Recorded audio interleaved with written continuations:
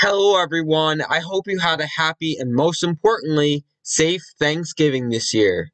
In this TeeScript tutorial, I will be showing you what parallel execution is and how to use it.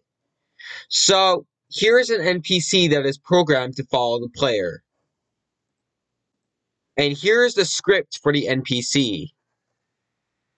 So what this means is that if the player's X position is greater than the NPC's X position plus 32, then the enemy will move to the right. If the player's X position is less than the NPC's X position minus 32, then the NPC will move to the left. Now, if you want the NPC to move away from the player instead of towards the player, all you have to do is switch these values that the NPC is facing. Now, in Super Mario Bros. X, a 1 by 1 tile is 32 square pixels. So what the 30 so what the plus 32 and minus 32 mean is that the enemy will switch directions if the player is further than 32 pixels away from the NPC. Of course, this value can be changed too, but for this purpose, I recommend using 32. Here is what it looks like if the plus 32 and minus 32 are added versus if they aren't added.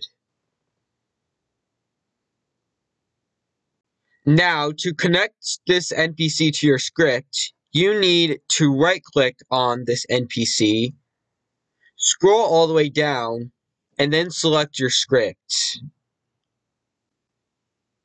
Now, parallel execution must be checked in order for this NPC to work properly.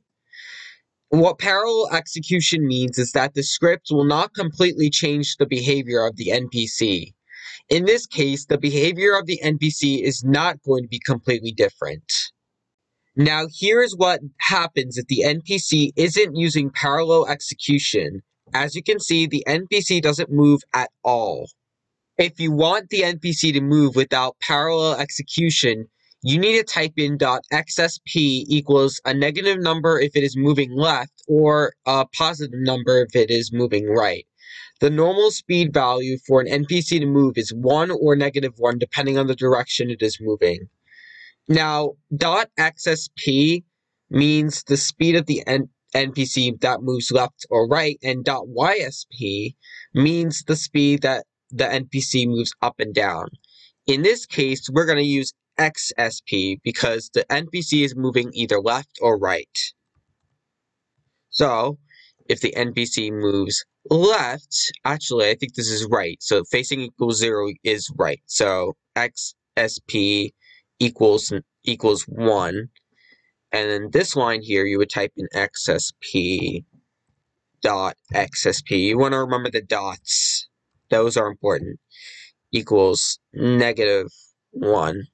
Now, the NPC should move, but the NPC has no other physics, so it can just walk on air. Yeah, I don't know how to fix this without parallel execution, although it still maintains the qualities of chasing you. Now, let's test out this NPC with parallel execution and with the changes.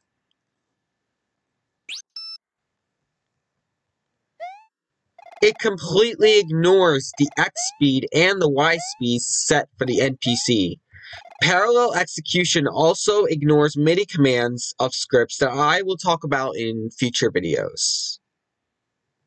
So there you have it. I hope this helps you with scripting NPCs, and I'll see you all in the next video.